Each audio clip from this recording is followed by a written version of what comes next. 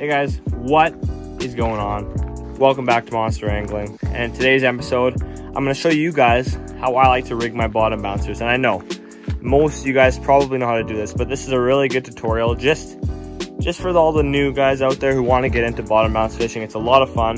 It's a very effective way of fishing. And yeah, I'll give you guys a couple tips and show you guys how to do it. I put a little movie together from a couple weeks ago. Uh, me, Jeff Quasney, and my dad went out in Jeff's boat and we caught a couple pretty nice walleye. So nothing big or we didn't catch a lot. The weather wasn't really in our favor that day, but we ended up catching a couple pretty nice fish. So yeah, I'll meet you guys inside.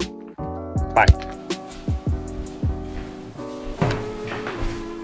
Okay guys, we're inside now and I'm gonna show you guys a couple tricks and techniques on bottom bouncing for walleye. There's lots of people that know how to do it. There's also lots of people that don't know how to do it too. So this is kind of for those people and just for guys that just want to learn a bit more about it. So before we get started, I just want to go over a couple things. I am not a great walleye fisherman. I'm always learning. The first thing you guys should know about bottom bouncing for walleye is you need to have the proper weight set for them. So I like to go an extra ounce every 10 feet. If you're fishing 30 feet of water, put three ounces on. If you're fishing in 10 to 20 feet, you should have two ounces on. Stuff like that is a good thing to remember. If you have too heavy, it'll just drag across the bottom, kind of like, like this and not bounce. And if you have too light, it's just gonna drag across and not bounce at all. You want it to bounce. Yeah, that's number one. And that's one of the most important ones, so remember that one. Number two is speed. And a good speed for trolling for walleye is about one mile an hour to about 1.5. And I know not everyone has access to trolling motors or can get their boat motor going slow enough, but you want to get into there or else it's too fast. So I suggest if you don't have that, you can use the wind if you're going fast enough. I know um, in this episode you guys are about to watch, we actually drifted with the wind because it was windy enough we could. So yeah, that's number two. Number three is gear. You don't want to use your perch setups. You don't want to use a heavy pike rod. You want something that's stiff enough that doesn't, it's not bending over all the time. You want something you can see the bites um, I usually like to go with about 10 to 12 pound braid on my bottom bouncing rods. That's um, that's about where you want it. You can go a bit heavier, but I wouldn't go much lighter than 10 pound test. I know lots of guys use uh, bait casting rods for bottom bouncing. I know I've tried that before too. I like spinning rods more for that, but that's just me. Yeah, so that's number three. Number four just a couple more tricks and tips. Um, put the head of the worm on the hook first. So that's the brown end, and it's kind of more of a harder part of the worm so it'll stay on the hook better and it also is more natural. That's how they'd be in the water too. So when you guys are fishing for walleye, try to locate the schools of fish too. If you see a fish on the bottom on your depth finder, your fish finder, you want to try to find places that there's a lot of fish in one area. So I know not everyone has fish finders. There's a couple of cheaper options from Garmin and Humminbird. The older Humminbirds are pretty good.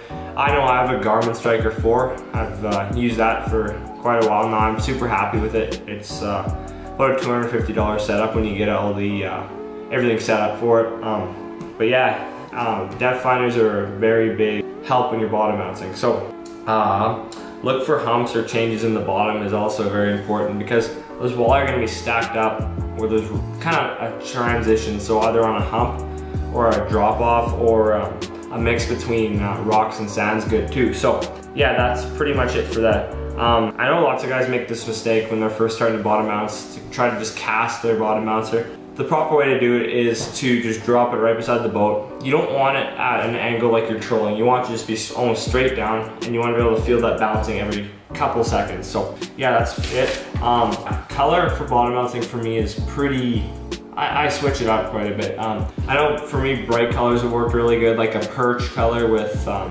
orange and yellow and green is pretty good. Um, I know other guys will use just straight colors like silver or um, I've tried red and whites before too. They work pretty good for me, but that's just preference more. So you guys can try to change it up when you are bottom bouncing. If you're not having any luck on one specific color, it's not a big deal.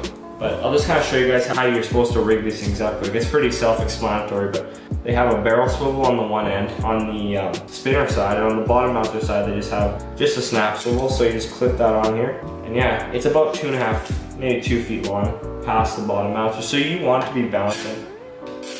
But anyway, that's another one. Um, that's pretty much it for when you're trying to bottom bounce. It's pretty self-explanatory. I know Bottom bouncing is a great way to fish a new body of water. Um, it's a great way to cover water. The fish love it and it's a really good technique. So yeah, that's enough talking. Before I get started, I'm just gonna say quick thank you to Jeff for taking us out on this boat. We had a lot of fun. Hopefully we can do it again soon. And yeah, guys, hope you enjoy the video. Let's go.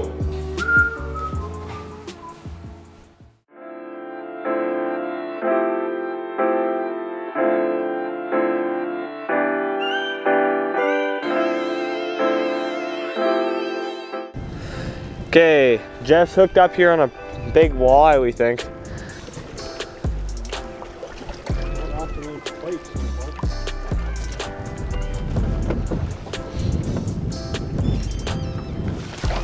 Oh, that's a beauty. That's a good one.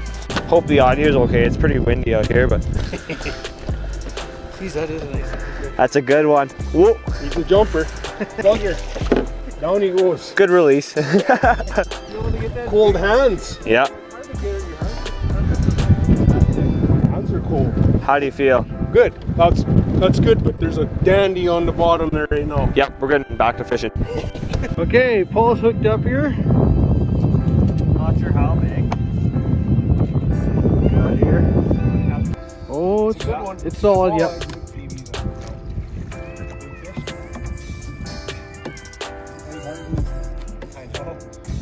Oh, he jumped right in the net. No, he was right in the net. springy. Oh, he gave you the I slip. don't want to go in there. Oh, perfect. Good job. Let's see.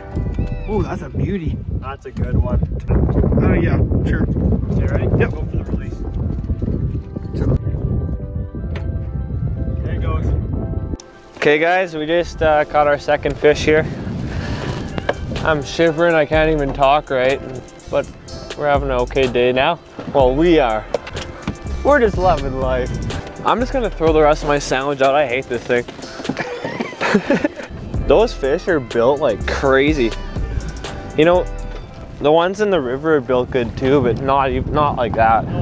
Okay guys, I'll show you kind of what I'm using. Just hooking these on. Using bottom bouncers here. Jeff's got one here. How does it feel? Feels like a decent one. I think that's a good one. Oh, he tricked me. I showed you that trick. Yeah, On Austin. learn from the best. That's a good one. Oh yeah. One is under his chin, so that means hitting him on the side. Yep. So it's a reaction. Here we'll get this guy. Look at that. Probably another 24, 25 incher. You betcha. Let's get a release. He's ready to go.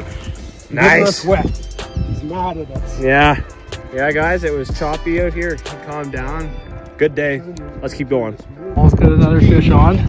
Probably another 24 or something. More, maybe less. I'm not You sure. got another eater there, partner. Yeah. It's okay, you need to eat some too.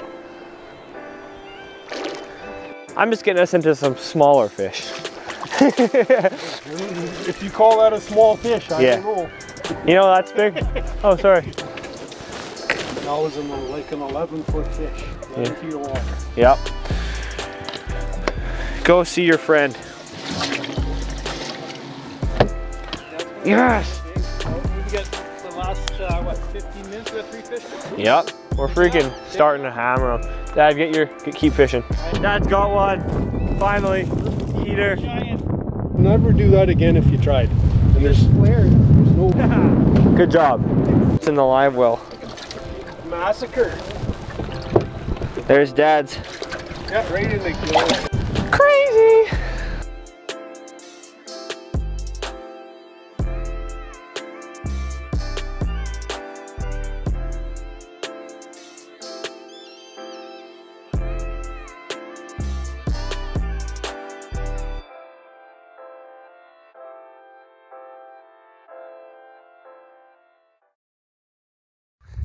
Hope you guys enjoyed the video there. Um, had a lot of fun out there with Jeff the other day. We uh, didn't catch a pile of fish. We caught some pretty nice ones though. You guys have to remember, a 25 inch walleye is a very respectable walleye. I know guys are always catching 28s and 30s, and But a 25 inch walleye, that, those are the up and comers. You guys need to put those ones back because uh, they're the future. So anyway, hope you guys enjoyed the video once again. Make sure to like and subscribe for more. There's some really exciting stuff happening in the near future.